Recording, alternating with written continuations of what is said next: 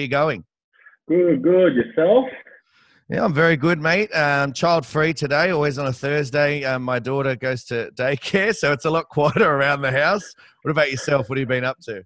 Mate, um, yeah, well, today, Thursdays, is a, it's a good one for me. I'm only working in the mornings, and then I have the rest of the day off, and then have to kick back on in the afternoon to coach the squad. So, yeah.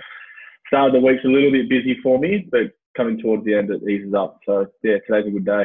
Mate, growing up in, in Western Sydney, um, Blacktown for you, what was it like being a Westie? I know I grew up in, in Campbelltown. We're referred to as Westies. What was it like out that way for you?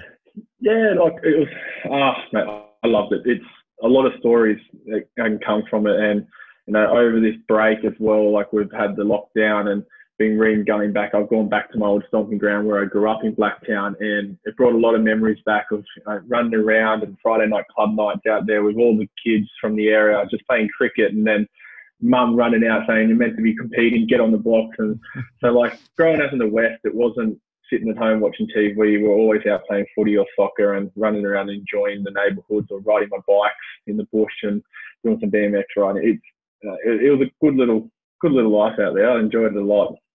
It's funny with club nights, it, it sort of changes, doesn't it? When you're younger, it's always you're missing the the race because of handball or something like that, or footy with the boys. As you get older, it's because you're chasing the girls and you're, yeah. you're, supposed to be over there, but you're in a group somewhere where no one can see you. Anyway, I don't. Yeah. Uh, I get myself into trouble. Now, let's get stuck into your swimming. What what sort of a younger swimmer were you? Were you at the front of the line, at the back of the line? Were you loud? Were you quiet, mate? Where did you fit into that sort of junior level at, in squads?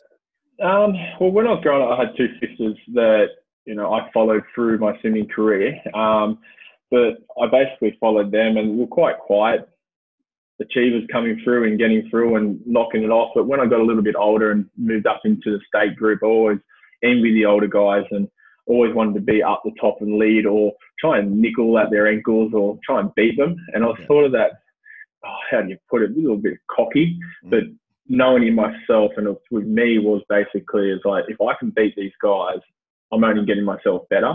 And you know, you have the odd odd argument with some of the older boys that you know you're kicking when you're doing pull and you know like the little blow ups you have. And growing up in the western side like city and going from Gabby, I still remember having one of the older boys. You know, didn't like it that you know I was given a bit of an ass kicking in training and. the best thing he did to me is grab my goggles and he flicked them off and smacked me in the face and split my eyebrow open. And you know, as my old man said, suck it up and keep doing what you're doing because you're getting under the skin and you're only getting better from it. So, oh, look, I was a bit of a heckler. I, I like to get in there and a bit of banter. I like to push the boys and I like to push the younger guys because how I see it is like if they're not pushing me, I'm not getting any better. And you know, one day I'll step away and uh, they're going to be the next generation coming through. And so these guys help me out a fair bit, but through that swimming career, I was like, I was a heckler. I like to do it just to improve myself, basically.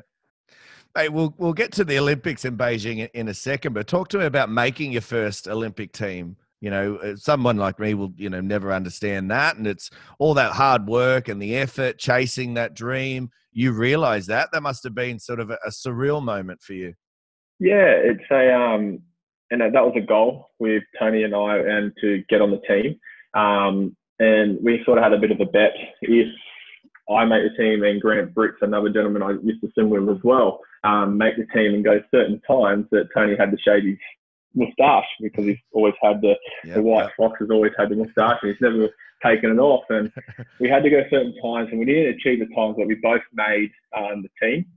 And it was awesome to be part of like make my first Olympics, but also be on that team with a guy who was from the same club as me and we know all the hard work we put into it. So it was it was surreal. It was unbelievable to make that, and I was quite young still to be getting on that team and to make it as an individual spot as well. Even it blew my mind more with Nicholas Sprenger as um, the other 200 swimmer too. Now, the experience, the Beijing experience, talk us through it. You know, the the firstly, you know, the atmosphere over there and all that sort of stuff, but then obviously into the pool with your uh, results. Yeah, um, well, I look at I look at Beijing as not a. I sort of look a bit of it as a bit of a, you know, I regret what happened. Um, leading up to Beijing, I look back now, I probably wasn't in the best shape of my form because I made the team. I'm like, oh, I've probably decided I've, I've done everything I had to do.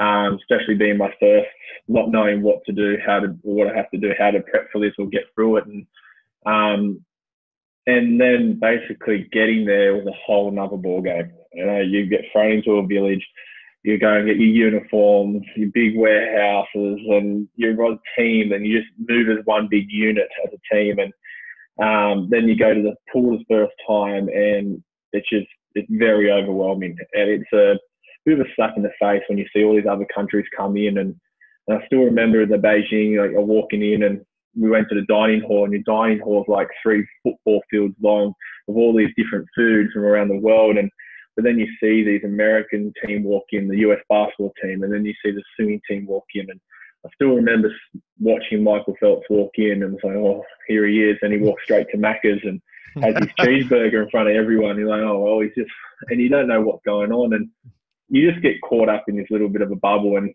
I think from that, basically, then it sort of, I, I say, it shot myself in the foot. I just started putting a lot of weight on my shoulders to all right, I've got to swim unbelievable here, improve myself. Um, coming off of 2007, finishing fourth in the 200 freestyle World Championships, I was like, well, I've got to prove myself again. And I really did hurt myself going into that heat, and I didn't even get through to the semi final. I was disgusted. I went 148. It wasn't a great swim at all. Um, then thinking in the back of my mind, like, all right, cool, I've still got the 4 by 2 to go let's reassess, let's get back in there, let's start getting everything moving again. And yeah. it was really good because I started to really, you know, push that to go from there. And then at that time, um, I still remember I got the phone call, got the phone from from Tomo, um, and was told that I'll be stood down. I won't be swimming in the final for the four by two. Um, as normal, usually protocol goes, is you your fastest swimmers go through, and yeah, so that was a sort of a massive kick in the gut. Um, that hurt me a fair bit, and you know Nicholas didn't get to swim either um, in that final, and where these guys walked away with a bronze medal. Um, so it was a bit of a kick in the guts, and it hurt me, but it also made me realise as an individual I've got to be better. Um, I can't allow all that pressure on myself. I've got to be a little bit more professional about this. But you bring up again something very interesting that I think um, we're trying to get better at here in Australia with the swimmers uh, is that you know transferring the great results we always have in trials through to the Olympics and and it could be world champs or wherever it may be, but for this we'll, we'll go with the Olympics and and you know transferring those over and trying to improve on them because always we seem to kill it at trials and everyone's yeah. cock a hoot and they're you know they're you know yeah. flexing and everything and then all of a sudden we get to the Olympics, and obviously, as you know, and everyone that I've, I've spoken to on, on here on the podcast know, it's just a completely different ball game. It's not a world champs, it's not a com games. It is a completely different beast, and and sometimes you can get sort of caught up in that. How hard do you think is it to to transition that? And now that you went through that, if if you you know we're going to talk to someone on the Olympic team now who's just going to go to their first Olympics, hopefully next year if it all goes ahead. What yeah. advice would you give to them? Yeah, I, I look at it now as to understand that everyone's in the same situation you are going forward, even if it's their third, their fourth, their fifth. It's still a special moment for everyone, but it's going out and asking and talking to people. Um, what we do quite well, we have had a lot of, of, some very good support staff on the team as they're willing to help, but also there's some really good older athletes on that team where they're willing to help because they've gone through those experiences as well. And yes, it's their fourth time or their third games or their second, but they can talk you through the process and, and help you out and sort of mentor you through it because it is scary. Uh, there's no lie to it. And it's basically some of these young kids that go on that make their first team, I would be basically saying is don't be a closed book, be an open book um, and take as much as you can in, but also go and talk to people um, that are on your team that have lived it, or you know they might be going through it, and be you know supportive to each other. Don't just be a turtle and hide. Um, it's be open. That's the best thing. Mate, 2008, after Beijing, you make a move up to Queensland and train with uh, someone I regard as a super coach, Michael Bohl. What brought that about? Um, at that time, after Beijing, our squad sort of folded away. A lot of retired. Um, a lot of people, yeah, basically a lot, a lot of them retired, or they were very young swimmers. And I spoke, sat down with my coach at that time, Tony Shaw, and just asked, I said, look, I'm getting to a stage where I may need a bit of a freshen up if I want to keep going in this game. Um, and he suggested to me, you know, have a look into moving to Queensland or moving down to AIS. And I've sort of tossed that up. It's like sunshine to Canberra. or, I don't know. Um, and I made a phone call and Tony suggested to talk to Michael Bohl. And at that time, Michael was coaching Nicholas Sprenger, who I was on the team with. And Bowley had been my coach at Beijing as well because yep. Tony wasn't selected. So he was sort of looking after me too. So he um he said, look, Nicholas is stepping away. He's retiring from the games, uh, from the sport. Would you? There's an opening. More than welcome to come up here and train. See how you go. And yeah, basically, I, two weeks later, packed up, moved out of home, and had to fend for myself. So yeah. Do you enjoy living up uh, up on uh, in the sunny state? Yeah, I loved it. It was good. I made some amazing friendships up there, but also I had a lot of friends up there too. And you know, Brisbane, uh, they're probably about ten years behind. Coming from Sydney, you know, it's hustle and bustle down here. Um, we're up there. I I still remember my first session. I rocked up, and I reckon I was half an hour early, and I'm sitting in the car. and I'm like, where is everyone? Like, don't they get here on time? Like people start rocking up at quarter two, and Bowley pulls in. He's like, "Hey mate," and I'm like, "Bowley," and he's like, "You're early." I'm like, "Oh, rightio." And from there, I was always that athlete. I was always before Bowley even got to got to the pool. I was always there. I'd be, you know, off running stairs or doing the little extra things before even Bowley got to the pool. And then when I finished off, he would be there, and I walked in. And uh, I think that was our little bit of um, the connection with Bowley and I. He'd like to see me always do the little extra things, and yeah. that's one thing I take away from Sydney. It taught me, and you know, we implemented a fair bit of that up there at Queensland too. Talk to me about the coaches you've had during your career. You know, how influential were they? And, and how different were they? You know, you're a coach now yourself. How different were they with, you know, their philosophies and, and their approach? Um, a lot of my time when I was a junior swimming, um, Tony Shaw was my coach uh, all the way up to basically 18. Uh, and he was lucky enough, and I was lucky enough at that time that we were also blended. We had a blended squad with um, Tomo. Mm-hmm. Um, I think they were called Campbelltown, and uh, there was some talk about trying to make a TNT squad, Tony and Tomo. But uh, we all swum out at one stage out of Homebush. Um, and you know, I think having Tomo as a coach, you would know, you know, and Tony, they're pretty.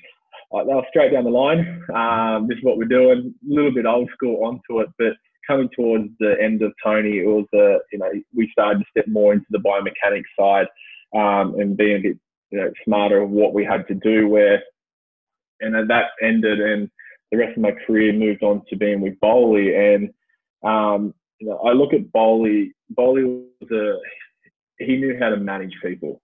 Um, he knew what was right for his athletes. He knew everything about his athletes, and he basically more mentored me and guided me in the right direction of where we had to go and what we had to do. Mm. Um, and so, if I needed to be more explosive of a block, it would be like, all right, we're going to use the experts to get this done. It's not like now, both of these coaches would never stand there and say, I know the game. Um, they would always, you know, ask for advice, give their opinion, and work with the athlete. So yeah. I would have to say both of my coaches are very similar, um, but they always put the athlete first. Um, I would have to say it. So I've never been with a coach where you know only swim three three thousand meters a session. Um, and I think our minimum's always been around that five up to the seven k. So like I've, I've never had a very a sprint specific coach. Um, they were always very middle distance coaching. So they're very similar, but they both oh, look. I can't even say they're different at all. They're both basically. I look at it now. They're, they're very similar, but they always put the athlete first. And like the bond I had with Tony, like I always cherish, and I still talk to him. He's a great mentor. And same with Bowley. Like I both looked at those two guys as father figures. Um, I think Bowley comes more of a father figure because I moved away from home, and he was my beck and call uh, if I, anything went wrong, and he would always be there and always stick his neck out for me and help me as much as he could. In terms of race plans, you know, say for a 200, what was your race plan when you were behind the blocks? Was it fairly detailed? Mate, was it fairly broad? It never changed. Never changed one yeah. bit. It was very simple. Um, and was basically from Tomo. Um, Alan Thompson told me 450s, mate. That's all it is. Uh, never changed. I've always had that race plan. It was always about making sure the three R's, the range, the rhythm, relaxation, and that even carried on over to Bowley as well. Um, I don't know what coach came up with that. I know people talk about it, people try and take credit for it, but you know these guys have been in the game for a very long time, and I've heard it for a very long time. I even I steal it too. Um, I was about and, to say I said range, rhythm, and relaxation this yeah. morning while I was coaching. That's it. I don't know if Bill Sweetenham came up with it, yeah. but um, my race strategy it was it was very simple: four fifties cut it down, eliminate one, you know, get through the first one, get through the second one, you know, start to build the third 50 and come home like a steam train. Don't leave anything left in the tank. Um, pretty basic. Don't complicate it. No, I like it, mate. Talk to me about 2012, uh, London. You know, firstly, this is your, your second experience there. Um, do you look back on that and say, you know, okay, I was more confident because it was my second, or is it Olympics still an Olympics, so it doesn't matter how many times you've been there. It's still the big show. Um, I, it's I get you just said it. It's still the big show. It's the pinnacle of our sport. But it's um, I was probably a lot more relaxed going into this. I knew what was coming. Um, and leading into it was a bit of a roller coaster, but it was also, you know, it, it probably made me a little bit more resilient going into that games and going, well, you know, this could be my last. Um, who knows? what's going to happen from this, but let's get in there and have a crack at it. And you know, I walked away. I made a semi final. I did a PB um, in the heats, got through there, and just missed out on the final. But you know, and then I was lucky enough to be in the final for the four by two that I missed out on four years ago. So yeah. sort of tick boxes for me. Um, that 2012 and the experience to be there with 10 other of my training partners under Bowley. I think at that time we had 11 guys on the Olympic team that Bowley was coaching. So it was unbelievable experience to know you're going into this race and then also going into that relay, having your teammates right next to you. Mate, how much you mentioned the relays? How much do you enjoy relays with the boys? And and you've been through you know many throughout your career. And the other question to that is: is there more or less pressure? Because I've heard conflicting you know stories. Some people come out and they're like, oh, it's a lot more relaxed because you you're with your mates and you know you feel a lot more sort of chilled but then the other side of it is you don't want to let your mates down so some of them yeah. feel there's a bit more pressure what about for you um, for me i never really saw the pressure side to it i always enjoyed it being with you know your teammates and three other guys i always had fun with it it sort of brought me back to like school swimming and just getting in there and showing off how good you are um, i'm part of this group i'm going to show this group how good i am and everyone else standing next to me and you know, I think some of my best races came from relays. Um, and I, I, just I thrived on them. I love them. I love being part of it. Uh, you can put me in any position. I'm going to have a crack. It's and then sometimes you know I could stand there and I could see one of the best Olympic swimmers next standing next to me. I'm like, mate, I'm going to show you off. I'm going to have a crack at you. And you just go that next level because when you get out of the pool, you have your teammates there straight away, mate. A, a relay was you know, I love them. I couldn't, I can't get enough of them. I still love them. I still love watching them, um, and I love watching my kids being part of them because it's you know, they're putting everything on the line for their teammates. Mate, incidents throughout your career, and then there were a, a, few that got picked up by the media. Now, were these just media blow ups and sort of out of proportion, or do you think these were lessons learnt for yourself? Um, I think uh, one of them is probably my own stupidity, um, and that was a skateboarding accident. And you know that I think got blown really out of proportion. Um, I still remember someone saying to me, you know, you're on the front cover of every newspaper there is in Australia, mm. um, and the second page on there is, you know, we've got people dying in the world. So yeah. I'm like, yeah, this is ridiculous. But you know, from that, I, it's no one to blame except myself. And I looked at that. I was like, well, you know, I've got to be honest with myself, mm. and it taught me a lesson to own what I do. Um, and then, you know, going off of there, going over to America and you know, having some guns in my hand, I think every person's done it. Um, I've been on Australian swimming teams that we've gone to gun ranges, and yeah. you know that's Australian media. They love to blow up things and make it a little bit ridiculous, and you know it's it's hard, but that's just that's Australian media. You got to love them sometimes. but um, I, I look at it now as like, well, okay, cool. We could have been smarter. Probably not to post something or do it. But even when I was posting, then Instagram wasn't even as really as big as it was what it is now. Um, so it'd be a lot harder for kids um, through the you know the world or the sporting world and being smart on it. But it's a you know, I learn a lot from that, and I try and help people when I see things. Just go, mate, look, this could bite you in the ass. It happens, but make sure if you do post that, you've got to own it and accept it. And trust me, I've lived it, um, and it hurts. But you know, let's just just think before we do things sometimes. Yeah. Mate, you mentioned it there with the media and here in Australia. And every time I think of uh, Australian media, I think of Chopper and what he used to say was, you know, never let the truth get in the way of a good story. So yeah. uh, I definitely think there's always a, a, you know a little bit of truth to these things that come out, no oh. doubt, right? But yeah, certainly to be front page. I mean, yeah, as you oh, said, there was things going on on page two that you're like, that's I'm, yeah, it's a little bit more important. Uh, yeah. but I look at it now and go, oh, well, hey, I was on the front page of the Daily Telegraph, the Australian Age. Like, fantastic, guys. Thanks so much. Like, free promotion, awesome. Like, it's a, you know, and I think Ali's manager said it once. You know, any publicity is good publicity. So, but I don't look at it as trying to push myself forward to get out into the world in that note. Um, I'm not like that at all. And you know, the Australian people call me the bad boy of Australian swimming. Oh, far from it. Yeah. And that's where the people who know me know that, and a lot of people still judge me for what articles they read online, and they where I, I just said, you know, you don't read everything, and it's not uh, truthful. Mm. It's uh, I I sit here today and I hold my head up proud of who I am, and I'm the first person if someone needs help to put their hand up to help them and say, you know, I don't go out of my way to try and show that I do that. I'm just happy to do it. And, you know, like one thing leads to another thing, but, you know, people are starting to understand, you know, the paper, what you read is not always the truth. Absolutely not. Now, just in keeping with that theme, mate, you know, a lot of um, social media is so much bigger these days, and a lot of athletes do cop a fair bit of flack whether you know if they perform well or they don't perform well, or maybe their own reactions to to their results aren't what people want them to be, which I find ridiculous. Because who are you to have an opinion on someone else's reaction to something yeah. that they've done? But anyway, let's not get into that because I'll, I'll go on a rant. yeah, what what advice would you give those those guys? Like, would you say to switch off social media? Obviously, you know, sometimes if if you don't know what's going on, well, then it's not going to hurt you.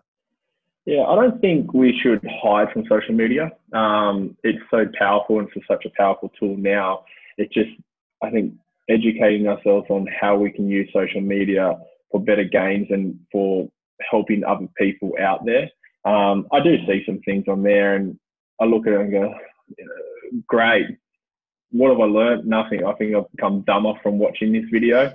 Um, but I feel it's like we shouldn't hide from it. I just think the support around social media is just educating people on how powerful this tool can be. Um, and let's try and make sure it's done in a positive way. Absolutely. Um, just you saying that and feeling dumber after listening to things reminds me of me sitting next to my wife when she's listening to watching TikToks and things in bed. Man, I think you might get in trouble tonight. oh, no, I tell her anyway. I don't care. I just say, listen, what are you watching? I just feel so stupid even hearing that. Can you turn it down? Put your yeah. headphones in. I don't want to hear it anymore. Oh, that's it, mate. Now, listen, you're uh, you, you transitioned in into coaching, but for a lot of people, you know, um, transitioning from an elite athlete into everyday life or a, a new role isn't always easy.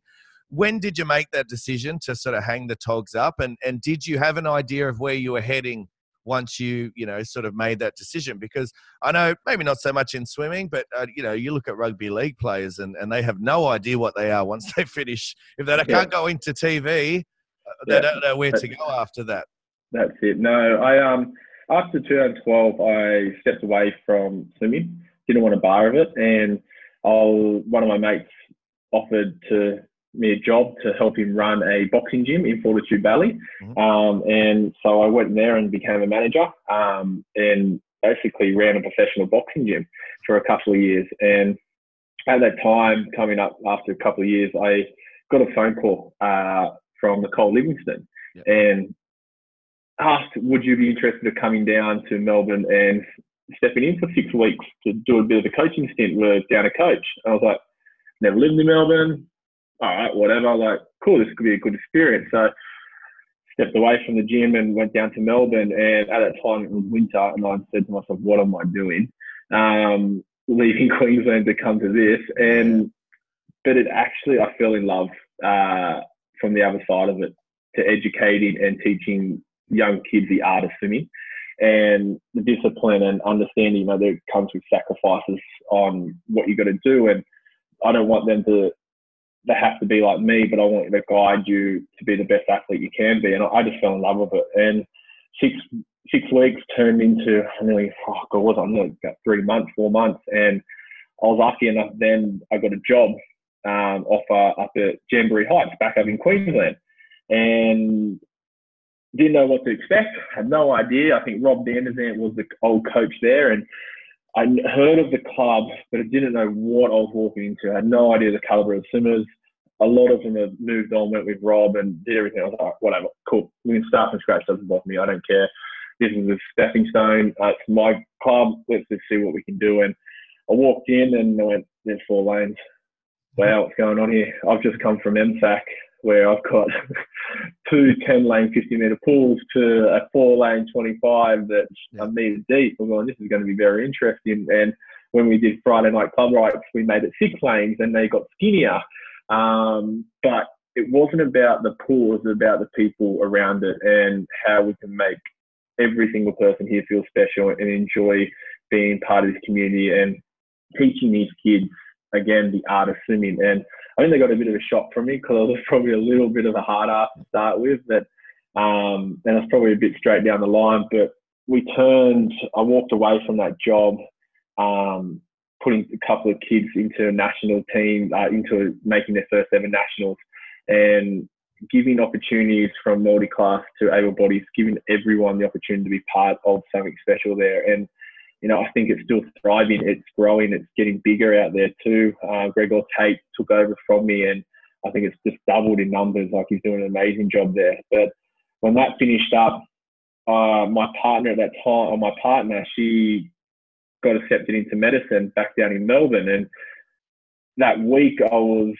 quitting. Basically, um, I got another phone call from Vic Centre again, uh, from Nicole Livingstone, asking would I like to come back and coach our national group. And I was like, cool. Um, yeah, right, love to. Why not? Yeah. Came down and you know I stepped into a different arena. Um, knew a lot of bodies, knew a lot of people there, and and then my career basically started blossoming from there. Man, I've got to tell you, um, and I'll give you the props on air as well as off air. But the work you did at Jamboree Heights was something for me that I, I, looked at and I was like, right, we can achieve something here. Because uh, four, five years ago, I moved up to Brisbane and started coaching at a, a little state school pool called uh, Somerset Hills. And yeah. much the same as you, I walked in, I was like, hang on a second, what is this? Because nobody prepares you for what a, a Brisbane state school pool uh, yeah. actually looks like. Um, and it's, as you said, it's six little skinny lanes. They're not even actual sizes. And you can really only put one person in it uh, at a time. And um, you know, the, the shallow end is 0.8. Anyway, I digress. We um, yeah. walked in there and, and I looked at what you guys were achieving and I thought, well, it's definitely, you know, we can get something out of this if we have the right mindset and we have a look at how we're doing things and think a little bit differently and yeah. um, certainly have a positive mindset, which obviously you guys did. So I want to give you some props there, mate. You definitely, you wouldn't oh, have known it, you. but you definitely, uh, I was yeah. looking from afar going, right, if, if they can do it, we can definitely do it. That's it. No, I think everyone, you know, when you look at a pool, hey, you've got a pool. Anything's achievable, achievable, and you can get in there. And if you set your goals right, you know, you can start ticking those off. And this game's not a short game; it's a long game. And you know, being for the long haul, don't try and think it's going to be a short game. Your legacy as a as a swimmer in the sport, you know, if people mention your name, how would you like to be remembered as an athlete? Um, look, I look at it I pride myself and I was always a hard worker um, and always did the little things to you know, better myself, but also hopefully inspire the person next to me to do the little things to be better as well. Mate, perfect. Uh, firstly, mate, I want to thank you very much for coming on the podcast. As I said, I know you're a busy man and you've got uh, coaching and all that other stuff going on. So I appreciate yeah. you taking the time. Appreciate uh, it. It's been an honor to, to go through your career with you. You're a champion in and out of the pool, and thank you to your contribution to you know swimming here in Australia. Um, it's been a pleasure to have you on. Thank you very much for coming on off the block swing podcast. Too easy. Thanks for having me, mate. No worries.